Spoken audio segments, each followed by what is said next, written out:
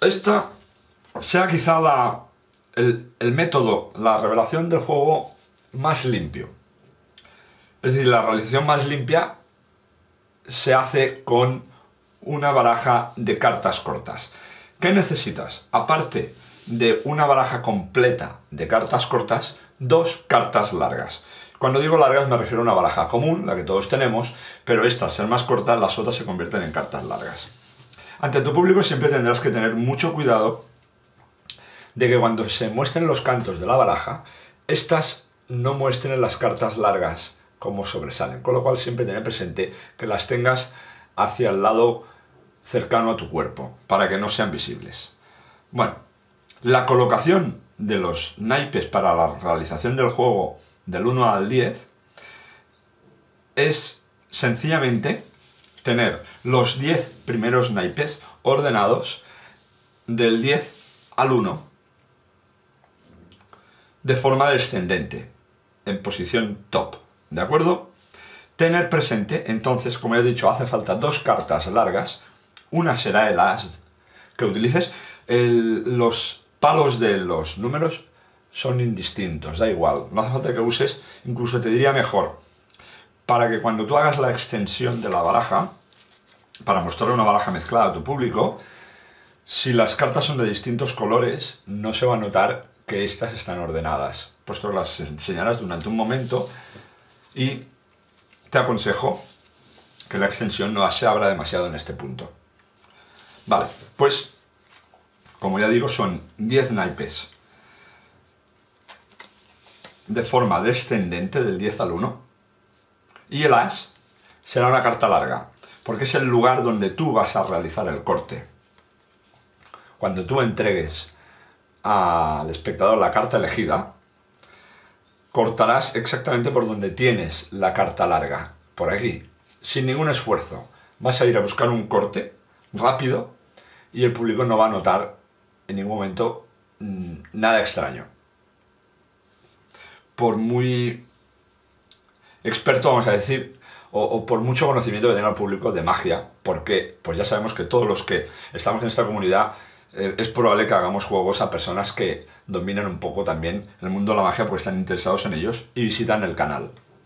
Vale, la segunda carta larga da exactamente igual el valor que utilices, yo tengo elegido el 4 de tréboles, ya digo, da lo mismo, se situará en posición bottom, en la última carta de tu baraja. Tú realizas la extensión, boca abajo, boca arriba, como ya digo, muestras las cartas limpiamente, están mezcladas, le pides, no hace falta que hagas ninguna mezcla, no va a ser necesario, le pides a un espectador que elija una carta, pero las 10 primeras no las podrá tocar. Con lo cual te aconsejo que tú hagas una extensión ya partiendo con las 10 primeras pasadas y te acercas a un espectador dándole a elegir una carta mientras tú las vas pasando. Él la elegirá, como si de un forzaje clásico se tratara. Él elegirá la carta, supongamos que elige esta, la observa, la vuelve boca abajo y como ya digo, tú ya sostienes la baraja en tu mano izquierda en posición de dar. Y te vas a buscar la, carta larga, que la vas a encontrar rápidamente. La sostienes y levantas exactamente por esta. Sin mostrar, cortas y le dices al espectador, sitúa tu carta aquí. Y él la coloca. Y tú completas, limpiamente. Y dejas caer todas las cartas. Sin ningún problema. Realizas un corte por el centro de la baraja para que la carta que tenemos al fondo se venga exactamente a la parte superior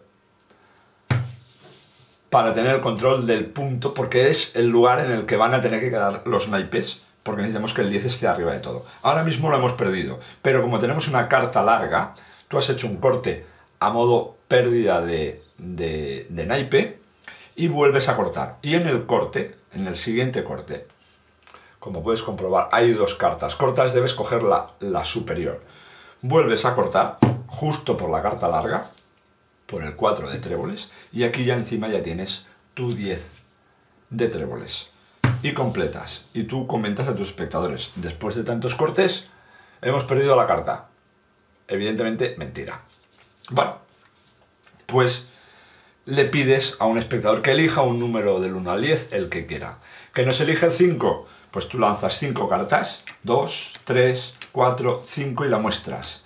Y esta será exactamente como las tenemos ordenadas del 10 al 1, será exactamente el lugar que nos indica dónde está situada la carta que eligió el espectador. Una, dos, no lo hagas así, perdón.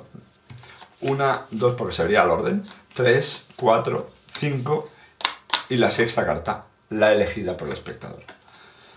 Ya digo que este es el método más limpio, más impactante posiblemente, pero que obviamente requiere que tengas una baraja de cartas cortas. Las podéis encontrar si lo deseas en magictrick.es. Muchas gracias y hasta el próximo vídeo.